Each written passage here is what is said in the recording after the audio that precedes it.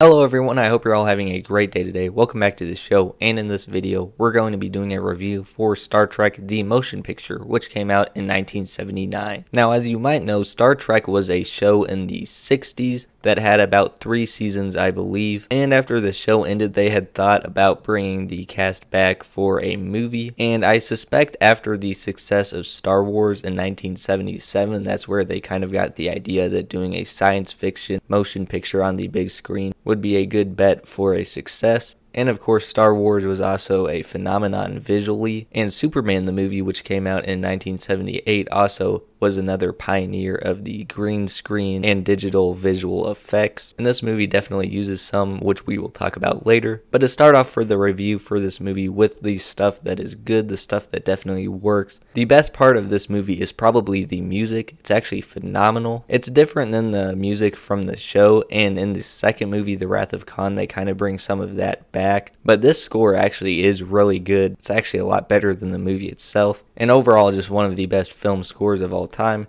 that a lot of people kind of forget about. It definitely just is music to my ears. And I would say the characters overall are good. Obviously, you have the old characters that are brought back, but they're all at a new stage of life. They have different positions than in the show. And there are different people taking over the Enterprise. So everyone's just in a new position and they're all just trying to adapt to these changes and the overall chemistry between the actors is pretty good. The acting is okay, I would say. The cinematography would have been okay if the effects weren't as bad as they were. And that's kind of where the problems begin. This is a movie that didn't really know its limits. It tried to do a little bit too much with the green screen, and there is some stuff in there that does look good, but a lot of it just has not aged well at all. And it's also just too slow paced of a film and a lot of people call it under the nickname Star Trek the slow motion picture just because of how slow paced it is. And I will give them partial credit for some of the slow paced stuff,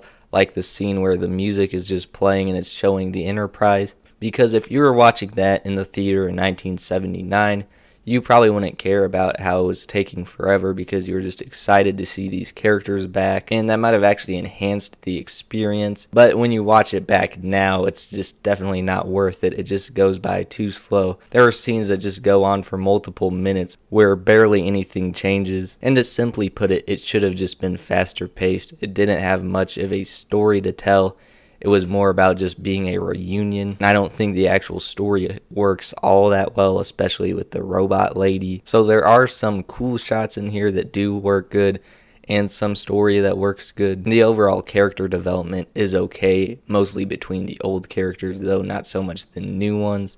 So definitely stuff that works in here and stuff that doesn't. So this definitely comes off as kind of mediocre, or some might even say bad. But overall, on the quality scale of 0 to 100, we'll give it a 62%.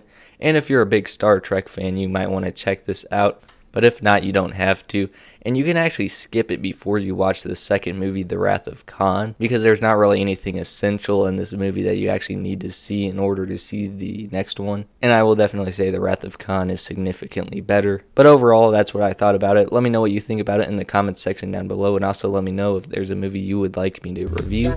As always, thank you guys so much for watching, and I will see you guys in the next one.